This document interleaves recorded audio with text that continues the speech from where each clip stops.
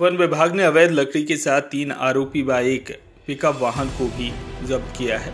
Parasia one विभाग ने बागवधिया जंगल से अवैध लकड़ी की कटाई करने वालों को एक पिकअप वाहन के साथ पकड़ा, जिसमें लगातार पहले अवैध कटाई होती थी, पर रेंजर अलका भूरिया के पदस्थ होने के बाद स्टाफ की सहायता से निरंतर अवैध कटाई को रोक लगाने में सफलता मिली।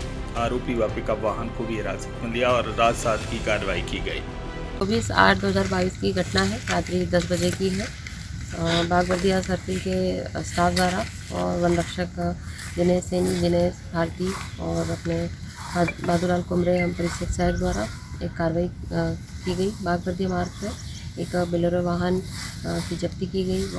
बोलेरो वाहन द्वारा सागौन की चरपट नौ नौ, चिरान बराबर ज़ीरो पॉइंट एक सौ सत्ताईस एम टी घन मीटर माल लेके जाया जा रहा था।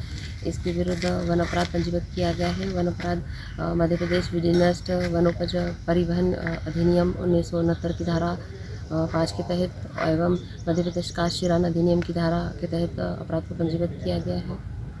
गाड़ी मालिक पे क्या कार्रवाई होगी? अभी राजस्व की कार्रवाई प्रस्तावित की गई है। परासिया से शेख फरीद की रिपोर्ट।